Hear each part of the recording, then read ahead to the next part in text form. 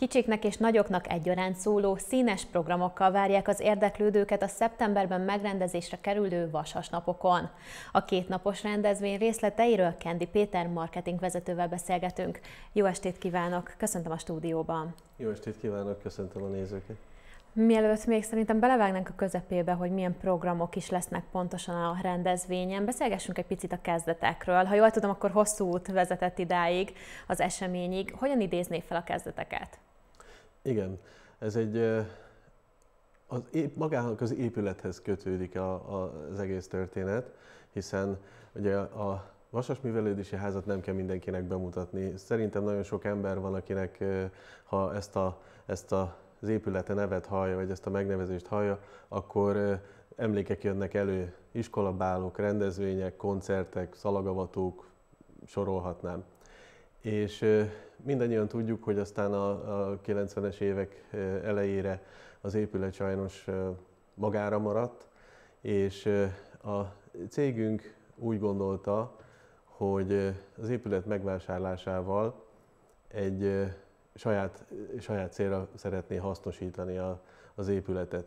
És bár ez a funkcióváltás, ez igényelt átalakítást, hiszen mi szerszámok kereskedelmével foglalkozunk, mégis a, a tulajdonos ügyvezető, Kocsák Gábor úgy gondolta, hogy ez az épület a kulturális emlékekre tekintettel megérdemli azt, hogy amit lehet, azt őrizzünk meg.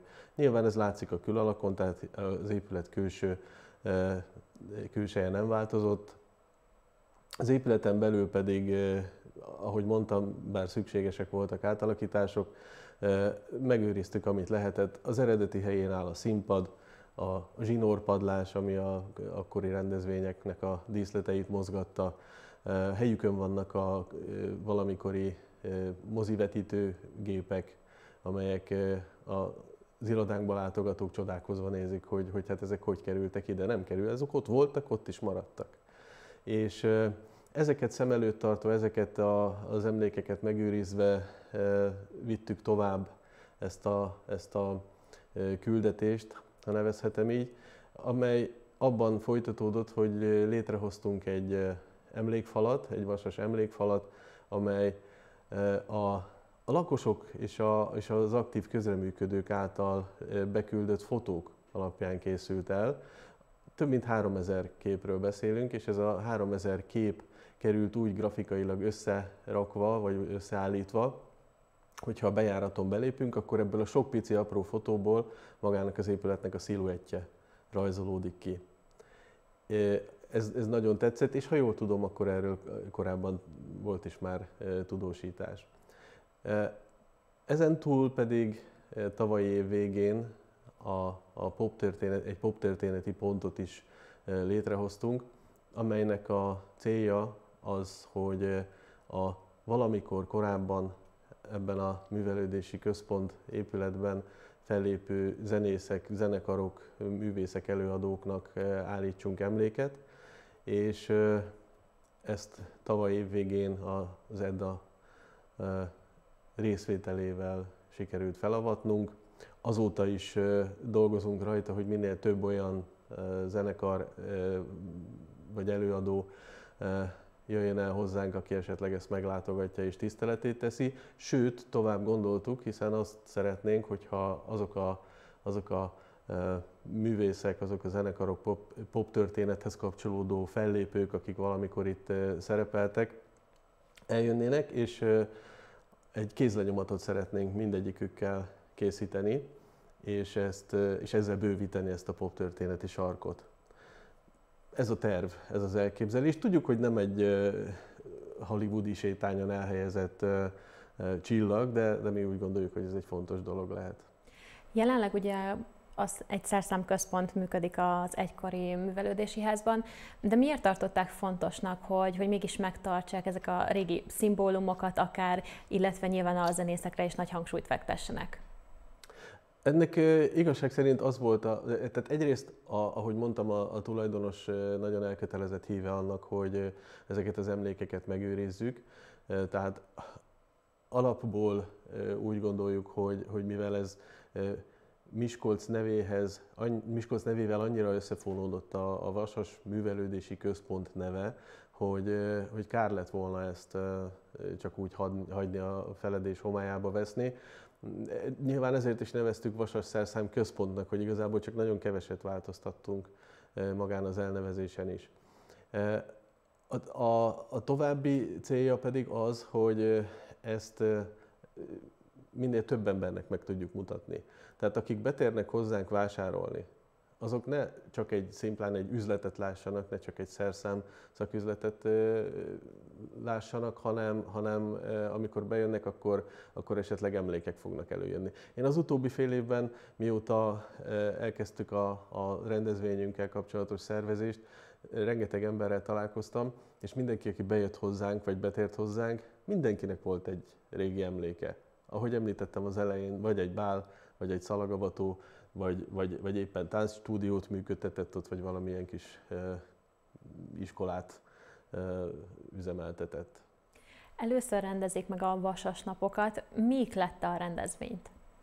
Hát ha vasas napokról beszélünk, akkor két nevet, egy nevet már említettem, ugye a tulajdonos ügyvezetőnket, Kocsák Gábort, aki, aki ennek az egésznek a, a kitalálója, de még egy nevet mindenképpen meg szeretnék említeni, ez Furdi Zsóka neve, aki, a, ami ismerősen cseng szerintem sokaknak, akik rendezvényekre jártak, vagy rendezvényel kapcsolatosan tájékozottak, hiszen ő az, aki, aki több mint 20 évet töltött el a Vasas Művelődési Központban, mint rendezvényszervező. Ennek okán nyilván rengeteg emléke van, és rengeteg emléket őriz.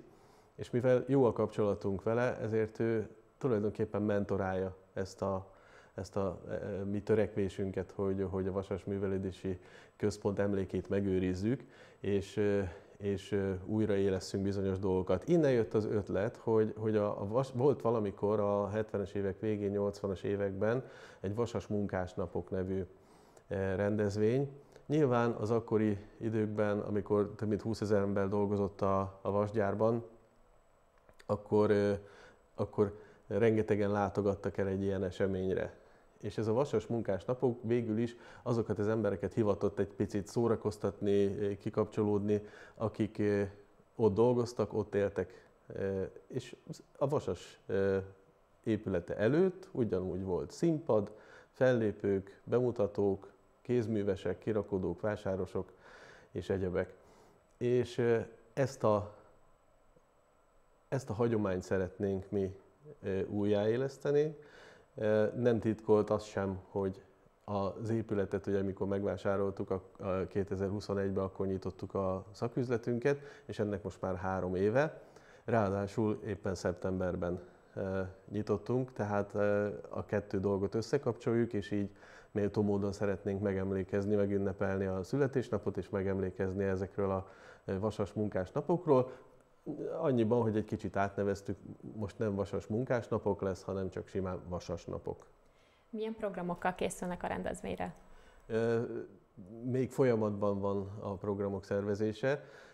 Rengeteg irányból kaptunk támogatói megjelenéseket is.